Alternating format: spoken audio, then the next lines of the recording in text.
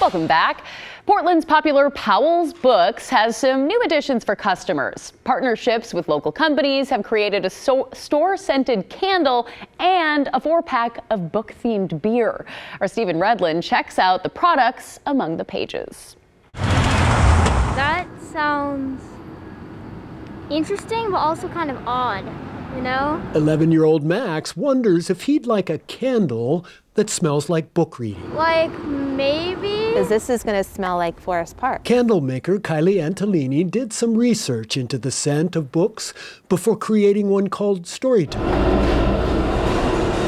When somebody like Powell's reaches out to you, you want, you want to do something special. Ex Novo brewer Ryan Buxton is also working on a product for Powell's beer.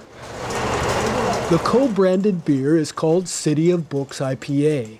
It'll be for sale October 16th at Powell's downtown store and Ex Novo's two local locations. The limited number of cans are being filled right now. Is there any chance you can set a little bit aside for me, chance? Yes, anyway? absolutely. This is our 50th anniversary. It feels really tremendous. Not many bookstores make it to 50 years. Emily Powell has felt the impact of the pandemic on book sales. Creating these unique products strengthens business and community. Isn't necessarily about, you know, more sales, more money, more, you know, bigger numbers. It's about being involved in the community, working with other folks who are doing really excellent work. This is my wax melter that I melt all of the soy wax down.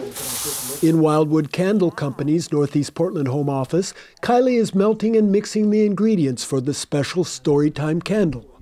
They're already available for $38 at Powell's. I love books. The candle, with a hint of pages, is designed to enhance any reading space. And reading with a candle, it's the epitome of fall and winter to me to get cozy. For those who want to pair a beer with a book, they'll have to act fast. When the $15.99 four packs go on sale Saturday, the City of Books IPA is expected to go like a New York Times bestseller. We were able to partner with them on a beer with 10% of the proceeds going to Binc. The Book Industry Charitable Foundation helps struggling booksellers and comic stores stay afloat. It's a super clear and bright, bright beer, so I hope it pairs nicely with whatever book somebody happens to be reading. There's a distinct smell to books, a collection of books. It's, um, I don't know, it's comforting. Two unique locally made products write a new chapter, finding a place on the shelves of Portland's historic bookstore. I'm Stephen Redlin, KGW News.